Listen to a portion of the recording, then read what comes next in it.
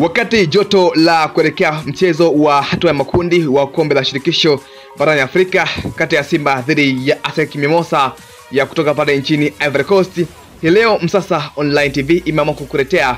e, uelewa kidogo juu ya timu hii ya ASEC Mimosa, wapinzani wa Simba kwenye kombe la shirikisho barani Afrika. Machache kati ya mengi ambayo unapaswa kuyafahamu kuhusiana na timu ya ASEC Mimosa, wapinzani wa Simba kwenye kombe la shirikisho barani Afrika ni kwamba ASEC Mimosa, klabu hii ilianzishwa mwaka 1948 ni miaka 74 imepita tangu ianzishwe na inashiriki ligi kuu nchini Ivory Coast.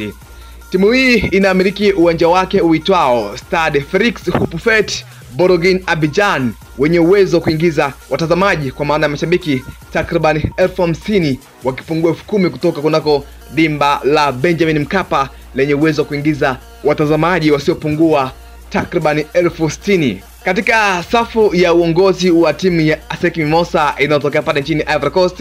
ni kwamba mwenyekiti wake ni Roger Guenin, huku ikiwa inanorewa na kocha mkuu Julian Chavela, na baadhi ya nyota waliowahi kuichezea klabu ya ASEC Mimosa ni kama Bonaventura Kalu, Didier Zokora, Emmanuel Ebue, Bakari Kone, Yao Givinho, Solomon Kalu, Romaric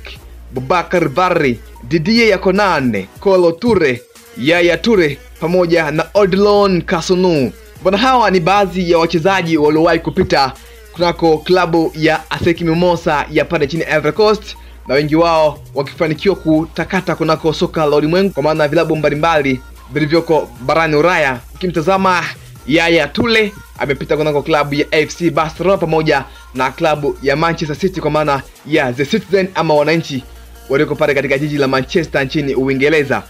Kwenye mchezo wa kwanza wa makundi ya kombe la shirikisho barani Afrika, Simba watamenyana na ASEC Mimosa kunako dimba la Benjamin Mkapa, na hii itakuwa ni Februari 13 mwaka 2022 huku Simba ikipata fursa ya kuingiza mashabiki takribani elfu thelathini na tano na hii ni mara baada ya kupewa kibali ama ruhusa kutoka kunako shirikisho la soka barani Afrika kwa maana ya CAF. Na mara baada ya mchezo wa awali kwa maana ya Februari 13 dhidi ya ASEC Mimosa, Februari 20 Simba itakuwa ugenini kwa kipiga dhidi ya USN Gendarmerie ya nchini Nigeria, na baadaye itasafiri kunako nchi ya Morocco kukipiga dhidi ya RS Berkane na itakuwa ni Februari 27. Ikumbukwe RS Berkane ni timu aliyokuwa akichezea nyota Kratos Chota Chama ambaye msimu amerejea kunako klabu ya wekundu wa Msimbazi Simba Sports Club, na kanuni zilivyo wazi za shirikisho la soka barani Afrika CAF ni kwamba mchezaji ambaye akishiriki michuano hiyo akiwa na timu nyingine